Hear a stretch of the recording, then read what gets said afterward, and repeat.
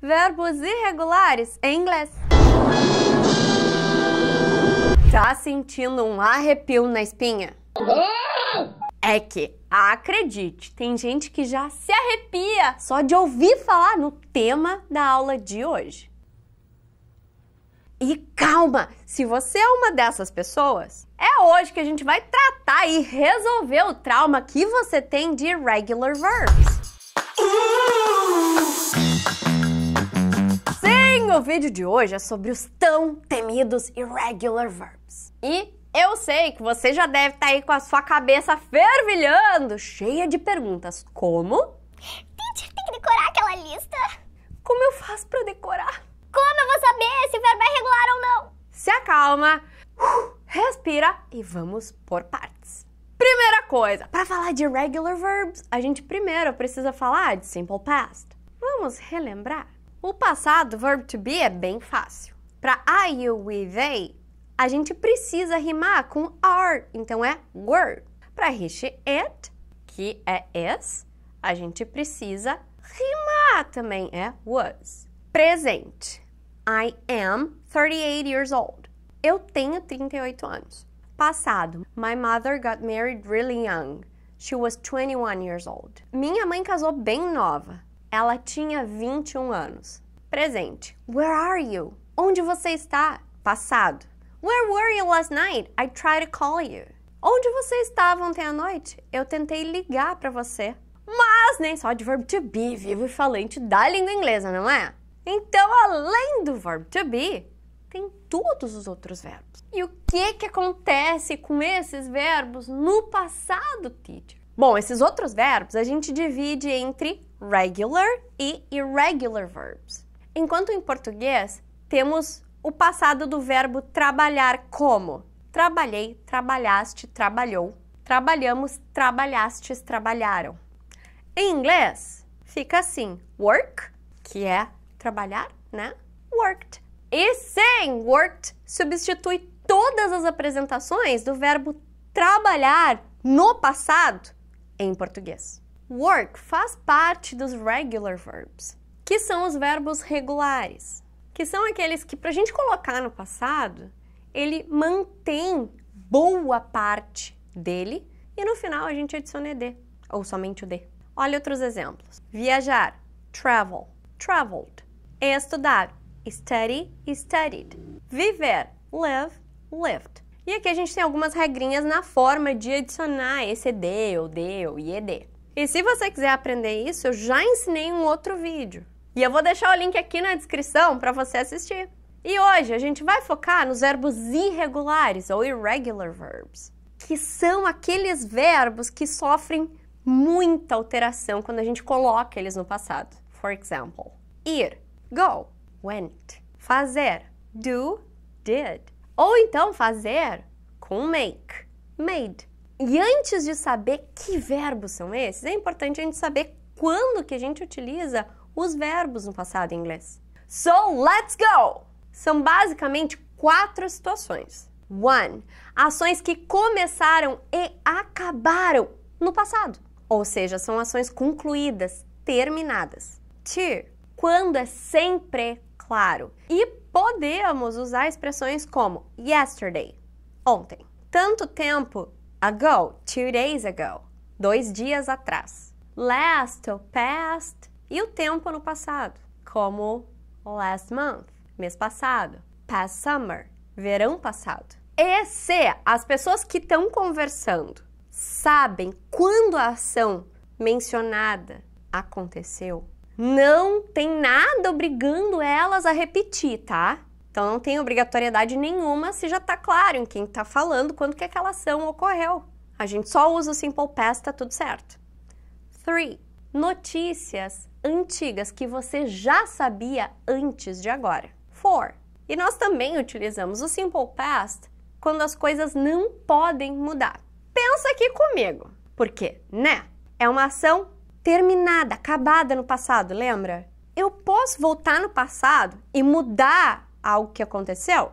Não, não, eu não posso. Por isso, não podemos mudar essas ações. E essas utilizações servem tanto para verbos regulares quanto irregulares. E como nós construímos as frases no Simple Past. Frases afirmativas. Nós precisamos somente da pessoa e da ação no Simple Past. We sent an email to our teacher this morning. Nós enviamos um e-mail para nossa professora pela manhã. She wrote a book a few years ago. Ela escreveu um livro alguns anos atrás. Já no negativo, a gente vai ter uma pessoa e a gente vai utilizar didn't e a ação na base form. Olha só. We didn't send an email to our teacher this morning. Nós não enviamos um e-mail para nossa professora pela manhã. She didn't write a book a few years ago. Ela não escreveu um livro alguns anos atrás. E para fazer perguntas, a gente vai utilizar o did, a pessoa e a ação na base form. Did you send an email to our teacher this morning? Você enviou um e-mail para nossa professora pela manhã? Did she write a book a few years ago? Ela escreveu um livro alguns anos atrás? E se tiver WH, que é what, who, etc., vem antes disso tudo, antes do did. What did they eat for lunch? O que eles comeram no almoço? E aí, não sei se você notou uma coisa, mas tem algo muito importante aqui que é o seguinte: você só vai usar as ações no passado em frases afirmativas. Percebeu isso? Em frases negativas ou então em perguntas, a gente vai utilizar didn't, negativo, né? Pergunta did. E o verbo ação vai para base form. O que, que é essa base form? É a forma base de um verbo, é a forma básica dele. Não vai ter o to, porque to deixa uma ação no infinitivo, né? É como se fosse o infinitivo, mas sem aquele to ali, entendeu? É a partir dessa forma que a gente adiciona todo o resto, adiciona S, se for he, it, enfim. Então, base form é aquela forma básica, aquela forma base, a forma clean de um verbo, bem clean mesmo. Olha só. They went to school last week. Eles foram para a escola semana passada. They didn't go to school last week. Eles não foram para a escola semana passada. Did they go to school last week? Eles foram para a escola semana passada? E por que isso acontece? Lembra que nós utilizamos do ou does no presente simples para nos ajudar a formar frases negativas interrogativas? Ele não significa nada na frase. Nada. Ele só tá lá para fazer companhia para aquele not super carente, que o not não pode ficar sozinho. E aí, de quebra, ele já nos ajuda a fazer pergunta, porque ele vai trocar de lugar com a pessoa, que é uma coisa que eu nunca vou poder fazer com a ação principal, com o verbo principal. Pois é, e aqui nós utilizamos o passado desse do. E como did já está no passado, se eu utilizar o verbo principal da frase no passado também, fica feio, fica redundante, repetitivo. Então, quando eu uso esse did, ele já conjuga, ele já arruma, já organiza a frase inteirinha pro simple past, pro passado. Olha que maravilha! Então, frases negativas e interrogativas eu não preciso utilizar o verbo no passado. Isso facilita a nossa vida! Em parte. Porque nas frases afirmativas nós precisamos utilizar os verbos no passado. E por usarmos só nas frases afirmativas e não no resto, nós acabamos usando menos do que nós deveríamos. E isso acaba nos atrapalhando na hora da gente lembrar de como os verbos são no passado. É, pois é. Olha esses exemplos. They bought a new house. Eles compraram uma casa nova. She ran a marathon last year. Ela correu uma maratona no passado. I slept a lot last weekend. Eu dormi muito final de semana passado. E aí eu sinto muito te informar que sim, a gente vai precisar saber como esses verbos irregulares se apresentam no passado. Mas calma, que eu vou te ajudar. Primeira coisa que a gente vai fazer é dividir esses verbos irregulares em grupos. E vão ser 12 grupos. E esses são os 12 grupos e eu vou te explicar cada um deles. E além de te explicar, eu também vou te dar exemplos de cada um dos grupos. Mas eu já te adianto que essa lista é um pouquinho longa. Mas é melhor do que ficar decorando, né? É mais fácil se a gente entender.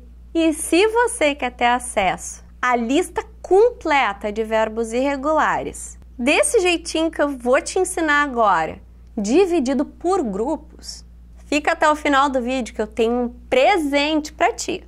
Mas vamos lá para os grupos. Primeiro grupo: important verbs, verbos importantes. E como o nome mesmo já diz, são os verbos importantes, né? Aqueles que a gente mais usa no dia a dia. For example, go, went, gone. Do, did, done. Make, made, made. Segundo grupo, perception verbs, são os verbos de percepção, such as hear, heard, heard, see, saw, seen, smell, smelled, smelt. Terceiro grupo, no change. Esse terceiro grupo é aquele grupo que a gente super ama, porque eles não sofrem alteração nenhuma. Eles continuam da mesma forma, seja no presente, seja no passado, seja naquela terceira coluna que é o particípio. Lad, lad, lad. Bat, bat, bat. Hit, hit, hit. Hurt, hurt, hurt. Repare na lista que você irá receber que eles são verbos curtos. E a maioria desses verbos termina com a letra T, exceto read e spread. Quarto grupo, ought, com apresentação com A ou com O, mas a gente pronuncia do mesmo jeito, tá? Ought com A, ought com O. Esse grupo é onde os verbos no passado vão ter essas terminações, com ought, a ou ought, o. Buy, bought, bought. Bring, brought, brought. Cat, caught, caught. Note aí na lista de verbos que você vai receber que os verbos que contêm a, como teach, catch, eles vão manter essa letra A quando a gente colocar U, G, HT depois. Então, eles vão manter a letra A na terminação. Tem A no verbo, mantém o A na terminação. Caught com A. Catch, caught, caught. Teach, taught, taught. E os demais vão ser com O. O quinto grupo. Verbos que terminam em D na base form. No passado, eles vão terminar em T. Esse D vai ser substituído pela letra T. Send, sent, sent. Spend, spent, spent. Facinho esse, né? E até aqui, tá dando para acompanhar? Vamos seguir então. Sexto grupo. Stand, stood, stood. Seguindo a lógica do último grupo, aqui no presente terminou em stand. No passado e no particípio vai terminar em stood. A diferença é que esse grupo tem só dois verbos. Stand, stood, stood, understand, understood, understood. Sétimo grupo. Esse grupo, em sua grande maioria, é formado por verbos que na base form possuem as vogais i e e para o final dele. E no simple past, a vogal i vai ser substituída pela o.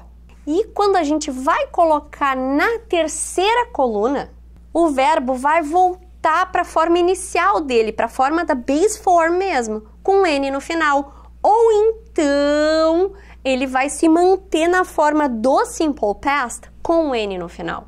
Olha só: drive, drove, driven. Ride, rode, ridden. Steal, stole, stolen.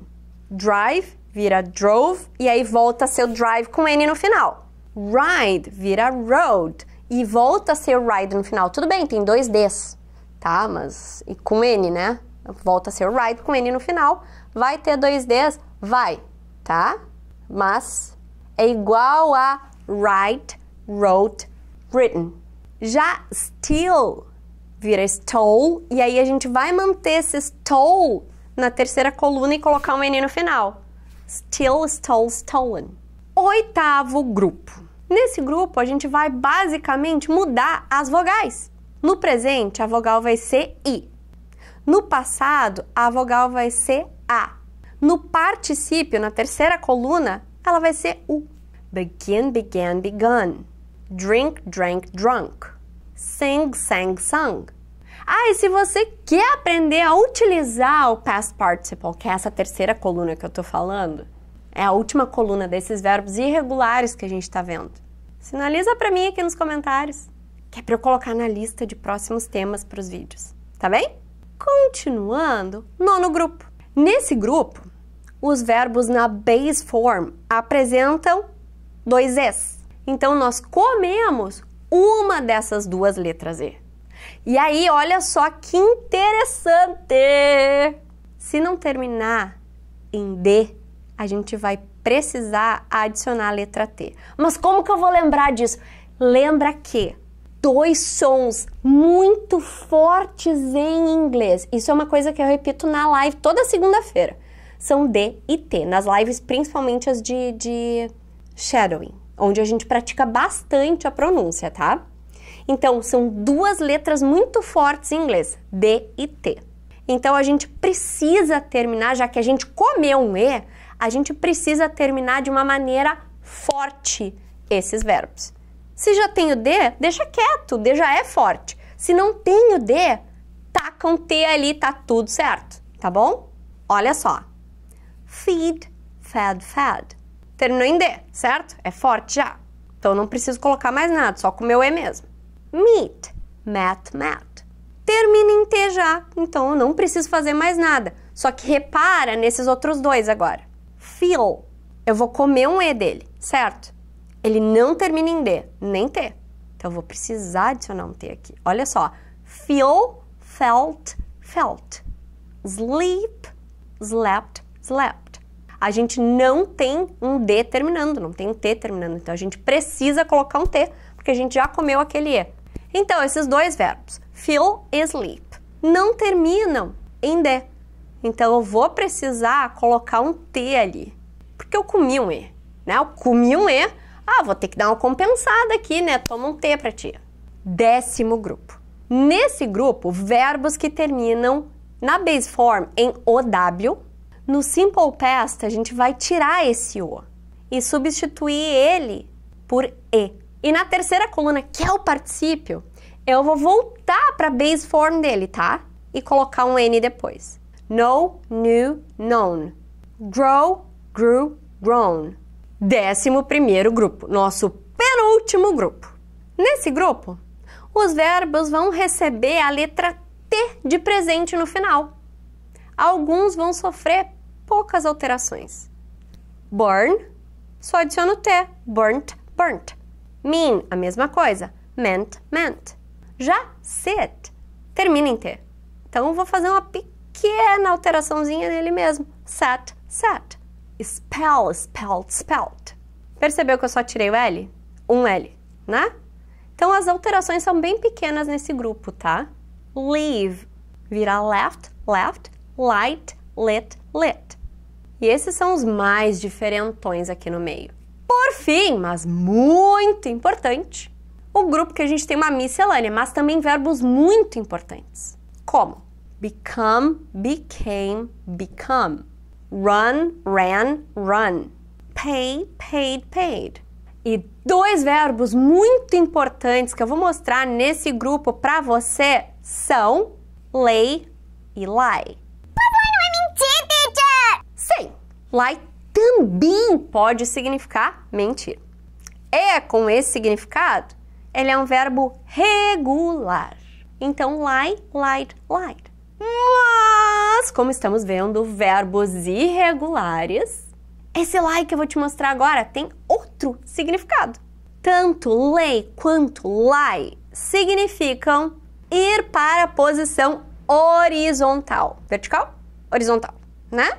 Porém, lay nós utilizamos quando o objeto não consegue ficar sozinho na posição horizontal ele precisa ser colocado naquela posição. Ele não consegue sozinho. Uma caneta. Ela cai por efeito da gravidade, mas ela não tem vontade própria. Ai, eu vou ficar nesta posição porque eu estou cansada demais de ficar nessa. Não, não, né? Ela fica assim, porque a gente coloca ela assim, ela fica assim se eu colocar ela num negocinho que ela vai ficar assim. Então a caneta não vai intencionalmente, ela não tem esta vontade nela de ficar nesta posição. Já lá, e nós utilizamos com algo que consegue intencionalmente ir para a posição horizontal.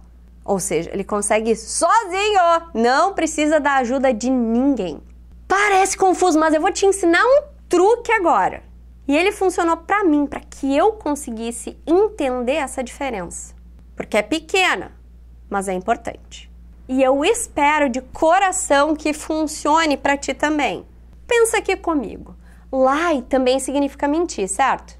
Vamos combinar que quem mente, mente intencionalmente, mente de propósito. Então, já que eu posso mentir intencionalmente, eu também posso ir para a posição horizontal intencionalmente. Entendeu? E aí, lei é aquele que não é intencional, que vai para a posição horizontal, mas que não é intencional daquele objeto. Agora, repare que o lei segue a mesma estrutura, a mesma conjugação que o pay, onde nós tiramos o y e adicionamos id, certo? Mas agora, olha o lie. Pois é, o lie no simple past é lei. Igualzinho ao outro verbo. Mas como que eu vou saber, teacher? Se é no presente, se é no passado, se é um, se é outro. Pelo contexto, olha só. Last weekend I lay down on the grass and I loved it. Final de semana passado eu deitei na grama e adorei. I'll lay this blanket on the floor for you. Eu vou colocar esse cobertor no chão para você, ok? Ai, muita informação, né? I know. Mas pega lápis e caneta, assiste esse vídeo quantas vezes precisar. E vamos juntos! E agora o meu presente para ti. Se você quer receber uma lista de verbos irregulares divididinha em grupos, como eu te apresentei nesse vídeo, aperta no link que está na descrição desse vídeo. See ya!